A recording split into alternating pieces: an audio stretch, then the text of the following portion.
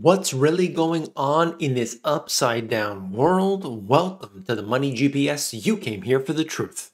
The bond market is flashing today. We've got big news coming out. I've got to look at a bunch of different topics. The first thing, we are going to look at the big signals. This is important for everybody, not just if they're invested in bonds, not just if they're invested in stocks, but your retirement account and so much more. The second thing I want to look at is oil falling right now. Spoiler alert, as I record this video, it's at about $66 a barrel, way off its highs. And the third thing is buy and sell.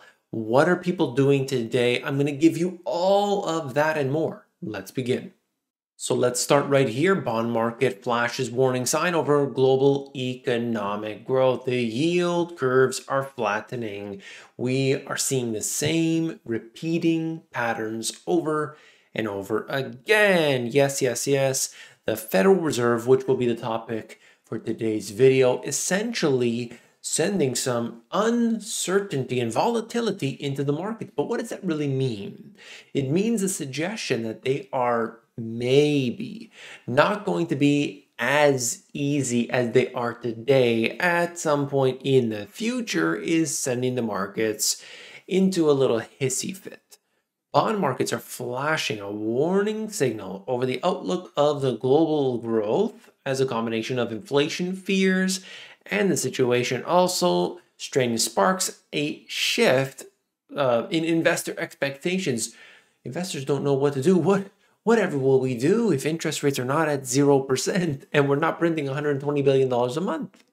Short dated bonds have come under renewed pressure globally since the Federal Reserve Chair Jay Powell's indicated that an openness to a faster reduction in the pace of assets purchases by the US central bank potentially clearing the way for earlier rises in interest rates. They could be doing a two steps forward, one step back kind of mentality. And we've seen this many times before let's gauge the market, let's push it out there, and then we tone that back in the next week or two. So we'll see what happens here, but I think it's important to, to show you what's happening here in the markets themselves and how they are reacting to that.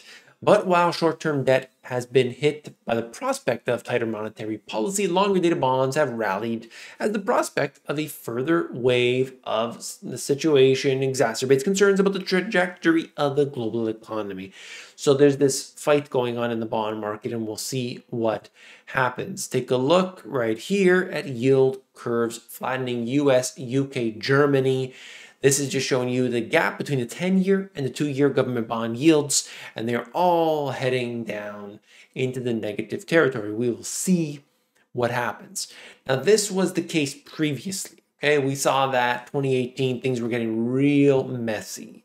And that is always a very good indicator. The 10 and 2 is an always, always a good indicator. Now, it happened to work out in that instance there where the markets freaked out.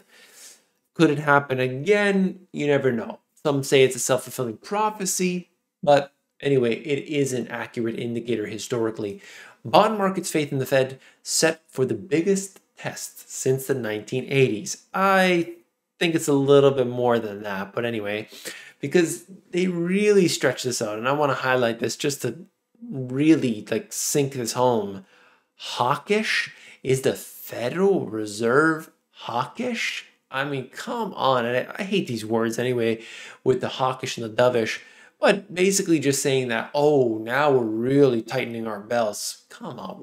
The, the, Federal Reserve is at 0%. The, the global central banks right now are close to 0% or close to the record lows ever in history. And we're talking about hawkishness. I mean, come on. Anyway, yields show inflation is seen as manageable, yet investors could be rattled by the next report on the price. So we'll see what happens, of course, as the new data comes in. Our view, take a look at this, which is a typical, very typical uh, money manager, fund manager you know, investor type of mentality, our view is that inflation pressure will ease during the course of the next year. In the near term, hotter inflation numbers will put pressure on the Fed to move faster, saying, don't worry long term, just a little blip. We've seen Christine Lagarde say this. We've seen just about everybody at this time. we have been short break evens and they look a little fairly priced. BlackRock basically just saying, among others, you know, there's a there's a bump in the road. That's all. Stock rout leaves traders wondering how worried to be about the Fed's hawkish turn. I, I just every every article was saying the same kind of thing. Less accommodative Fed create headwinds for the market. What's going to change the narrative? Well, well, well. Anyway, I'm not going to beat a dead horse on this one. Just wanted to show you that the S&P 500 seeing two weeks in a row in the red is very uncommon. Think about that. Just just two weeks in a row. You can see right here the S&P being the first one on the left-hand side where it has gone. Now, small caps on the very right, which I've been highlighting, which has usually sees more volatility both to the upside and the downside, has been rather weak, something that I have talked about extensively here on the channel. And it connects in with this. US ship logjam stretches far into the Pacific, longer than ever before. 96 ships at this time. And it just continues to get worse. I believe there it is, yes. Container ships wait almost 21 days. That's three weeks on average to enter the port of LA. And I know others around, other ports, are also very busy from the data I have seen, but nothing like this. Nothing like this. I mean, we went from, let's say, seven days to 21 days in a relatively short period of time. Things have certainly took a turn for the worse. Oil prices, here we go have tanked so hard. Traders are assuming planes won't fly for three months, according, according to Goldman Sachs. I just think that's a little bit ridiculous. They are really putting too much into this, as far as I'm concerned, at this time. We don't know what's going to happen coming days, coming weeks. I told you the next two weeks going to be volatile. So far, that has turned out to be true. We will see what happens. According to the big banks, they are saying in the next two weeks, I guess week, week and a half time frame, going to be volatile. You can look at the price itself, $66 a barrel for crude. Going down significantly here. Now, my friends in Pennsylvania, check this out. Pennsylvania braces for huge energy price hikes as winter looms. That connects directly in with this. Take a look. PUC, Pennsylvania Public Utility Commission, urges consumers to prepare for rising winter energy costs and explore options for conservation and savings. You can argue what the cause is. We can fight about that all day long. I believe it's a bunch of different things, different reasons. There's always going to be speculation behind anything. Look, I could show you this. Here's a stock market, okay? What about this? The S&P and I just my screen just flipped the S&P itself. These charts are a little bit messy, but anyway. Is this the result of investors buying into good companies? Some of that is, yeah, for sure.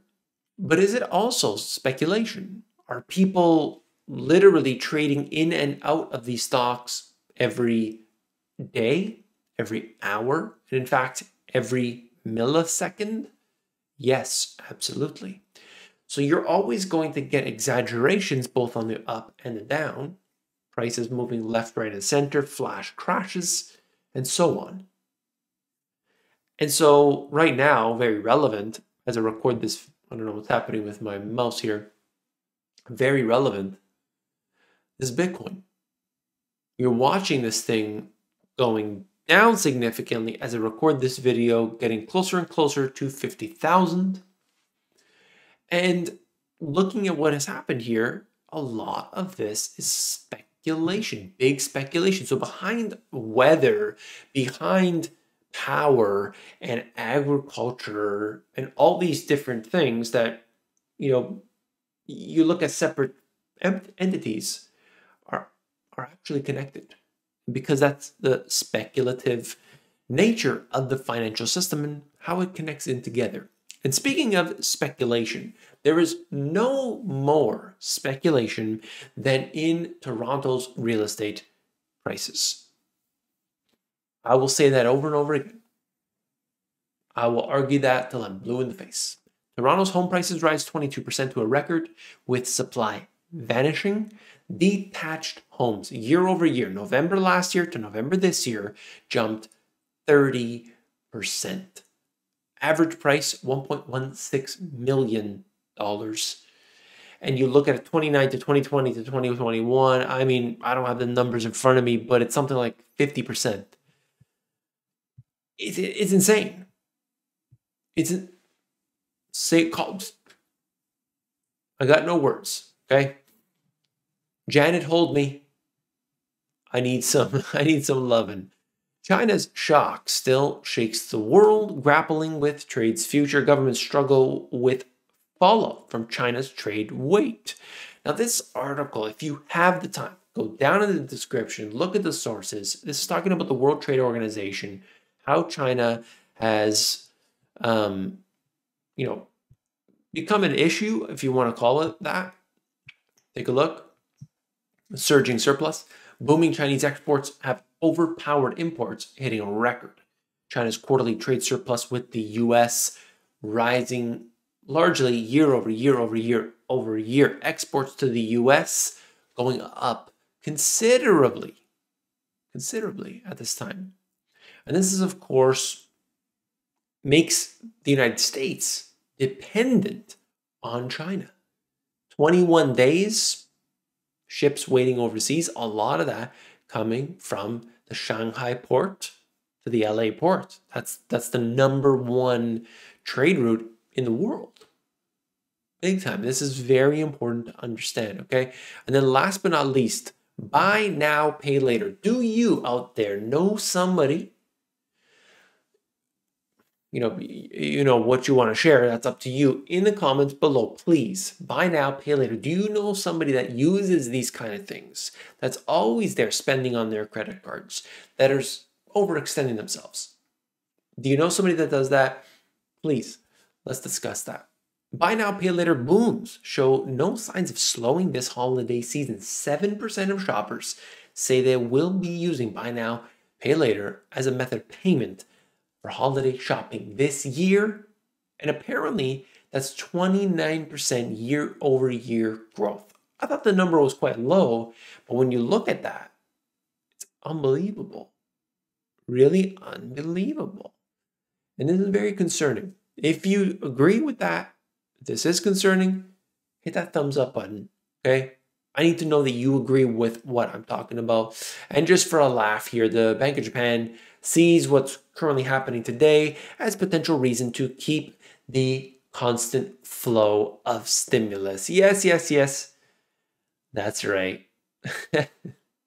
Any excuse. It's all good. Listen, I appreciate you being here today. I want to thank you for your time.